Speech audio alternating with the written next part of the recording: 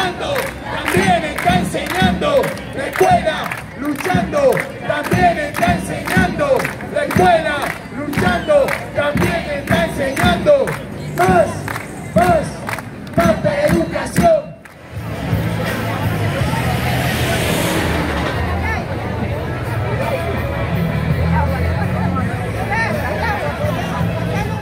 Soy de esos profesores taxi que andan dando vuelta por el sistema educativo de la provincia. Trabajo en seis escuelas, tres escuelas secundarias, este, un privado y dos CENS. Y estamos acá con los suplentes reclamando este, para que se cumpla el acuerdo paritario que firmó este gobierno 15 días antes de las elecciones.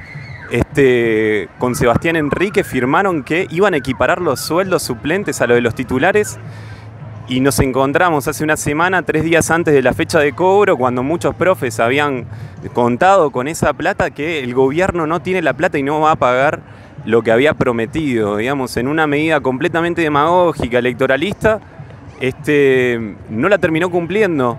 El gobierno que se jacta de este, números impecables, de cerrar todos los números, no nos va a pagar entonces la equiparación del sueldo. Este, muchos docentes están súper endeudados, especialmente los docentes con familia, no llegan a fin de mes, contaban con esa plata, incluso contaban con el aguinaldo de diciembre y se encuentran ahora que no les van a pagar. Este, entonces, en medio de la desesperación, nos juntamos el martes, estuvimos reclamando, pidiéndole a, la, a, la a los legisladores y al, y al, gobernador una respuesta, una explicación de lo que ha pasado, y acá estamos nuevamente este, presionando al gobierno, tratando de que nosotros marcar la cancha. Eh, para el año que viene y para la situación que se viene para nosotros. De senadores y senadoras y docentes de la provincia de Mendoza.